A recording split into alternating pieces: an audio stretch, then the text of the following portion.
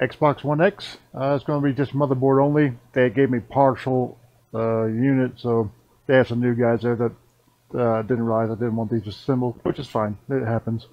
Uh, anyway, it's no video. I've already looked at the HDMI port. It looks fine, so we're going to go straight to testing. And we'll go through our normal routine and add our new routine to it, even though it's not going to be a 100%er, unfortunately. So we want to test.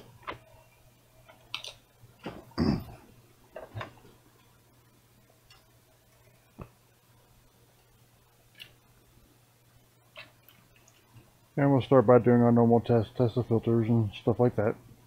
So make sure I get you on screen and make sure we're actually connected.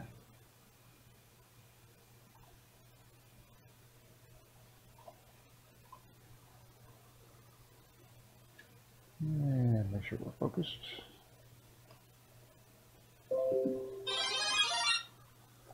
Okay. I'll start with these little filters. Make sure everything is good there. Uh, actually, I want to be on continuity for this part.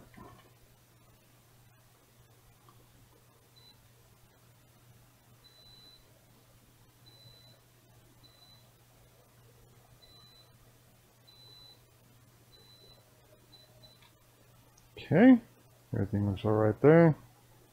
Just make sure we're getting through.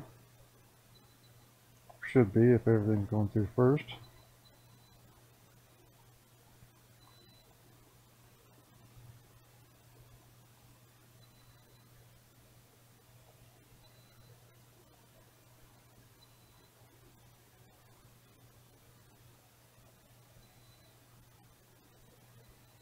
Okay, everything seems to be good there. Just want to make sure we don't have any shorts to ground on anything we shouldn't.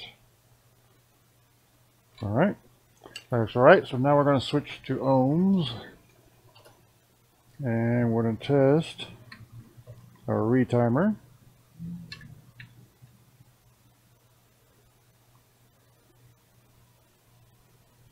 Okay, right away, as you can see, we have a really low ohms rating. Now, this is not, like I said, it's not a 100%er on the last video, but if it does have a low ohms rating, that's pretty much 100% that the retimer is going to be bad. Now we'll test over here by the ESD IC.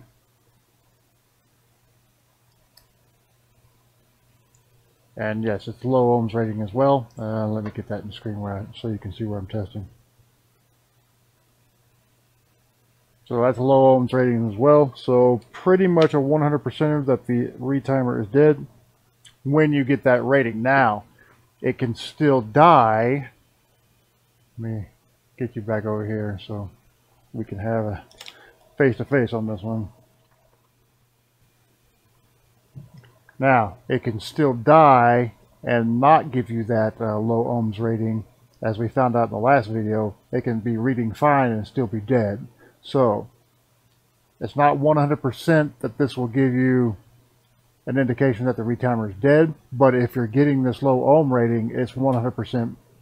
I'm, I'm going to say it's likely 100% the retimer. This is still a new procedure for me, but I want to say it's about 100% if you're getting that low rating that the retimer is dead. So, we're going to go in there and change the retimer. I will not be able to show you the final result on this one, so it's just going to be a soldering wick uh, how to solder a retimer. But also, I did want to walk you through the my new testing procedure on that. And like I said, it's not a 100%er, but if you're getting that low rating, it's 100%. It's, it's probably going to be uh, dead. So, well, let's get back to it.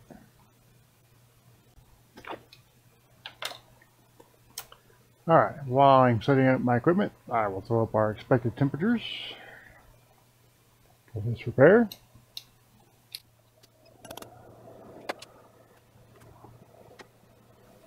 Okay, switch it back.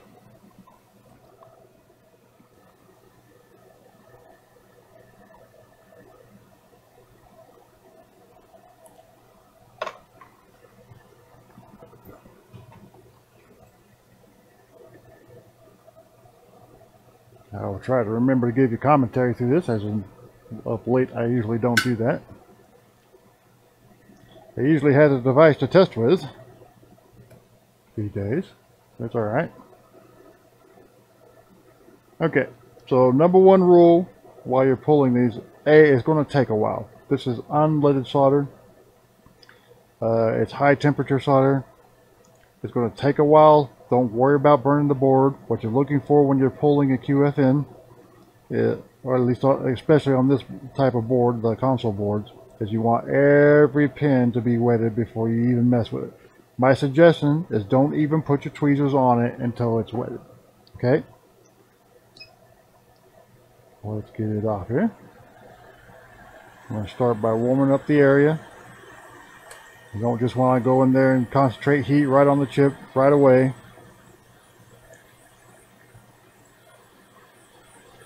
Get that flux flowing around.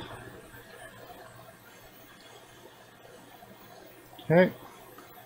Usually when the flux has kind of got made its way around the chip, that's a good time to start concentrating in.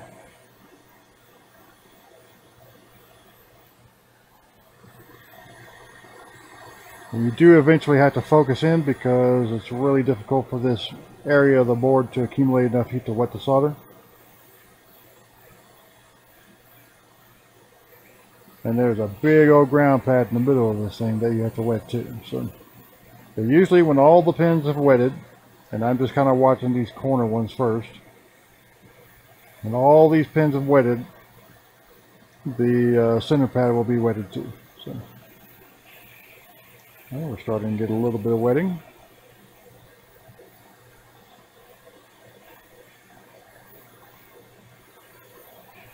Okay, how are we going on the top ones?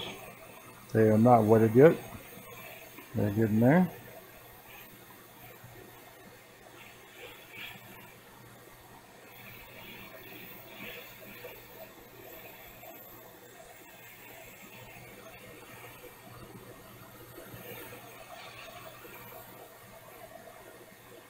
All right.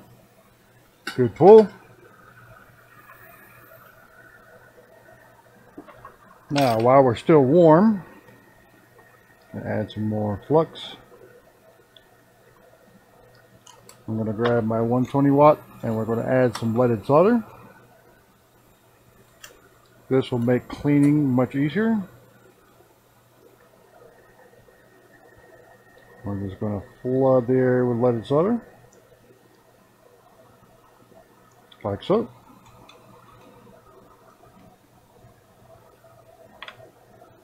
It's probably time for some fresh wick.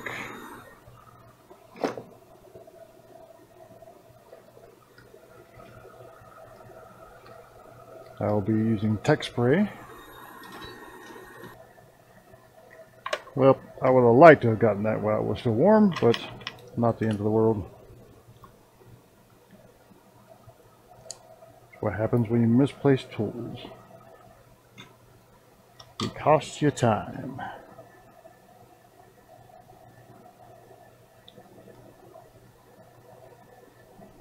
Okay, when wicking, we're just going to stick it off to the kind of the side here.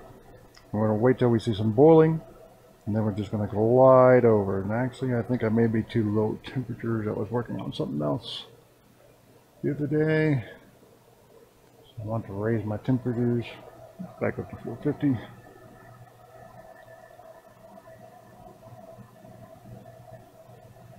I pretty much use my highest temperature ratings on these boards.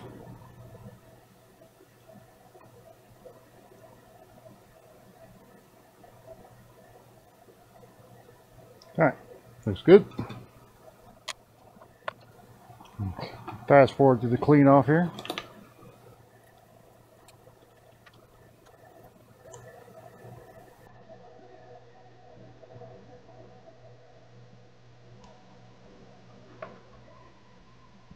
Grab my micro pencil.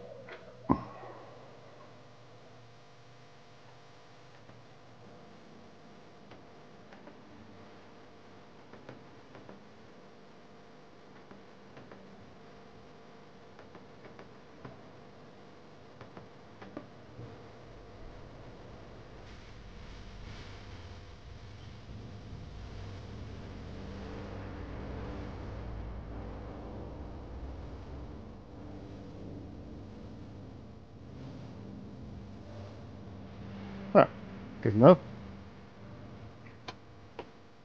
Now my current technique, I don't really care about how much I put on the middle pad, but if you're having trouble soldering one of these, try reducing the amount on the middle pad. Uh, sorry, the ground pad, the big ground pad.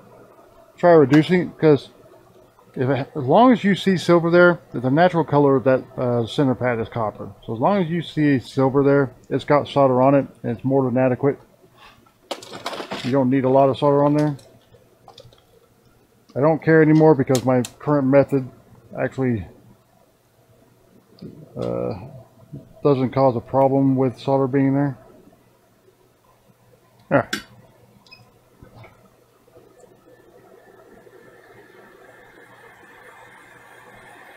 going to do something very similar, warm up the area. The flux flowing. then we'll concentrate down.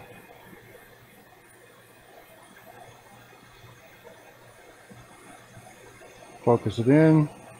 We want to wet the solder. It should not take near as long because this is leaded solder now.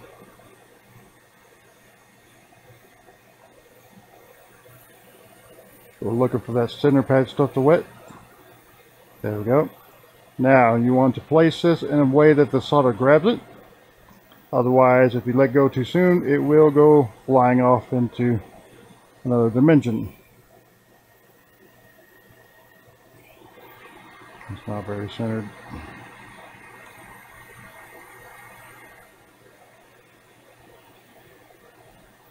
Okay, remove the hot air. Now I'm going to place some pressure. Squeeze out all that metal solder.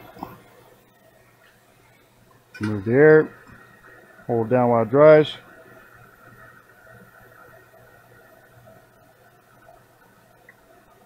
Okay, before I do any cleanup, I'm going to check my alignment.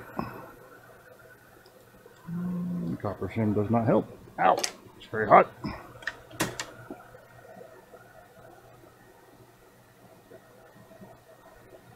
Alignment looks good. Alignment looks good.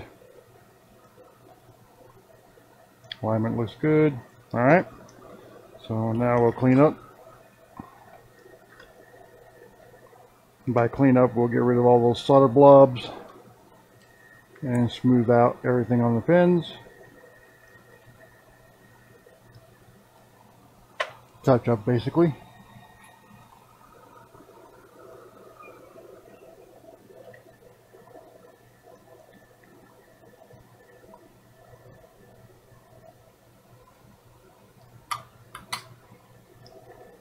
And clean.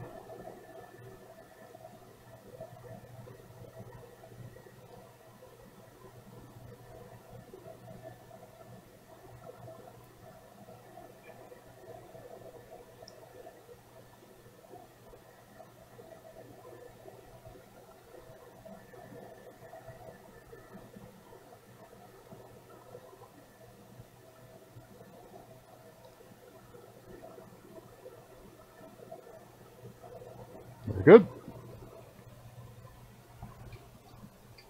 Let's take another look. Make sure there's no bridging or anything of that nature.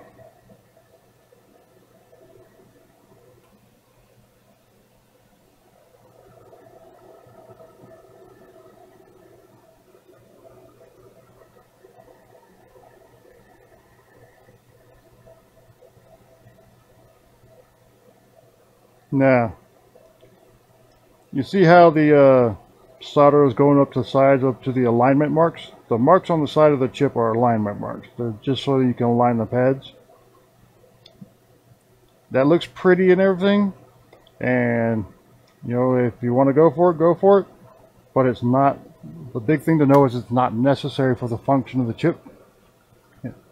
If you're using a method where you're not using, you know, much solder on the center pad, and you're not worried about it squeezing out the sides like it did for me, you don't have to touch it up. You can, if you're not experienced, you can actually get more trouble trying to touch up these chips than just leaving it be. It will make contact just fine. You know, don't worry about pretty. Pretty comes with experience. What you want is uh, to be effective when you're starting out on this. Worry about doing an effective repair. Worry about pretty later.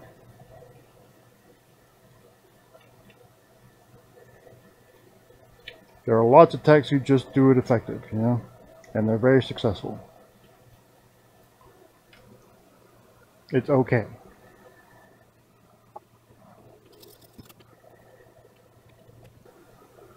Okay, I'm going to give you one last look.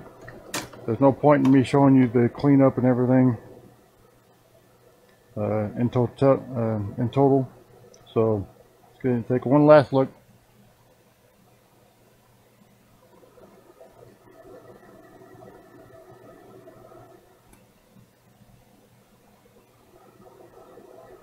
And see those last two pins there? They don't look all pretty like those. You know what? It doesn't matter. They're connected. So, perfection can be the enemy of progress, especially when you're just doing something for looks. Everything else looks pretty. And should be good to go.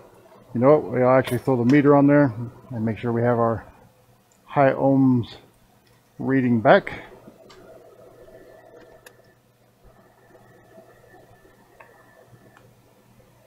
All right, yep, we're back to high rating. Very good. All right, and we'll go ahead and do it around the ESD IC as well. Should be the same, roughly. Very good. All right, so I have pretty good faith that this will be a successful repair. Okay, and that's how you solder a, a uh, retimer on an Xbox One X. Uh, it's pretty cool to do an updated one on my current uh, process. So cool, and go over some things about the older process too that works for you know, especially if, if you're new at it. So anyway, if you have any questions about the equipment I use in this video, take a look in the description below. Uh, if you like this video, do me a favor and hit the like button. And if you want to see more videos like it, hit the subscribe button and maybe the notification bell. Then you'll know when I post videos, which is about twice a week. Uh, if you have any questions, feel free to put them in the comments. I will attempt to answer them if I can. And if I can't, then I'll try and direct you somewhere that can. And, you know, thank you for watching. I appreciate the channel support, and we'll see you next time.